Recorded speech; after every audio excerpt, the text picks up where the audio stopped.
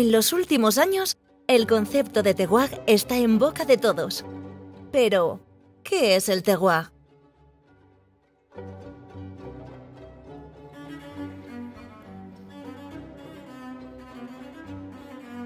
En 2016, convocamos a algunos de los bodegueros más prestigiosos de Europa para debatir sobre su significado. Le concept de terroir est quelque chose de. C'est-à-dire qu'il n'y a, pas de concept en fait. Il y, a, un concept pour les vignerons euh, et il y a un concept général qui est très flou, qui est très flou. Donc on va s'intéresser au, concept qui est pour les vignerons grand terroir, s'il ne provoque pas une émotion même visuelle, c'est pas un grand terroir. Et, là, l'émotion est parfaite parce que l'endroit est exceptionnel, euh, le, terroir est exceptionnel, et puis la démarche, la démarche est exactement celle de révélation d'un grand terroir, puisque c'était une création, hein. mais une création fondée sur une histoire très longue.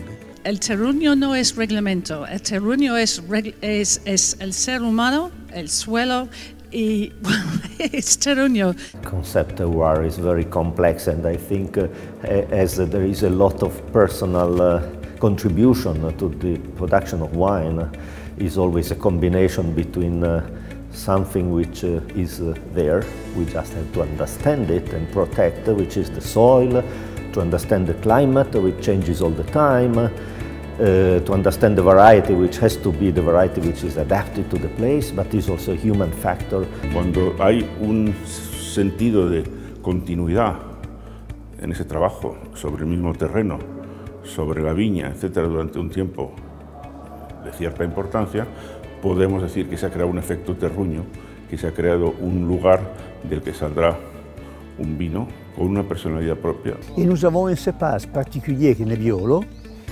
il n'est pas un apolide, mais il est un cépage qui aime le terroir. Il est né là, il a eu une lente mutation génétique pendant 2000 ans, donc s'est adapté à ce terroir.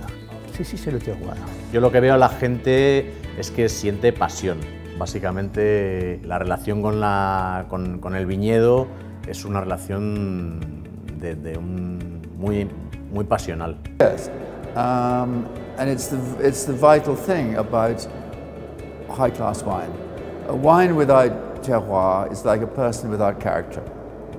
You can have lots of very nice people, but if they don't have character, they're boring. Es ver, seguir cómo va, porque pasas todos los días en la viña, cómo va el ciclo, si va temprano, si va tardío, si va mal, qué es lo que tienes que hacer, el, el ir, sobre todo ver cómo va creciendo un viñedo que antiguamente tenía que que hace mucho trabajo, tirar uva, ahora ves que se ha adaptado, da unas uvas extraordinarias, con mínima intervención. Eso es lo bueno de, trabajar en algo que realmente te apasiona. Con el cambio climático se han igualado muchas condiciones, pero lo que diferencia cada vez más en el terroir es el factor humano.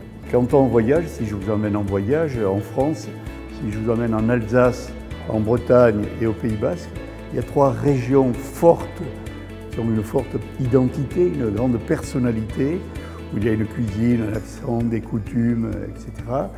Pour moi, c'est ça, c'est un accent, c'est un goût, la notion de terroir. C'est quelque chose qui est inimitable, c'est ancré dans un site avec une très longue histoire.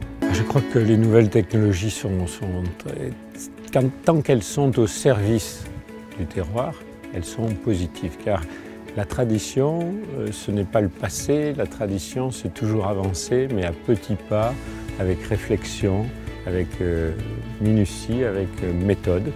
Et autant je pense qu'il est important de prendre du recul à chaque fois qu'une nouvelle méthode arrive, il ne faut pas la dans El concepto de terruño no es unívoco. Existen interpretaciones diversas a las que se otorgan funciones diferentes. En Abadía Retuerta, hemos estudiado la base científica del concepto para desentrañar su verdadero significado lo que realmente nos dice de un vino.